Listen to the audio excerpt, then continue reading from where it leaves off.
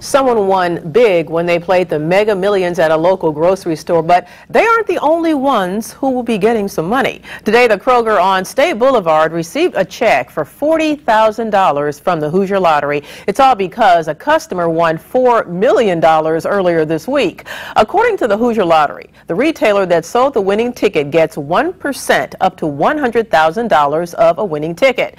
We are your home for the lottery. Look for tonight's winning numbers on Nightcast.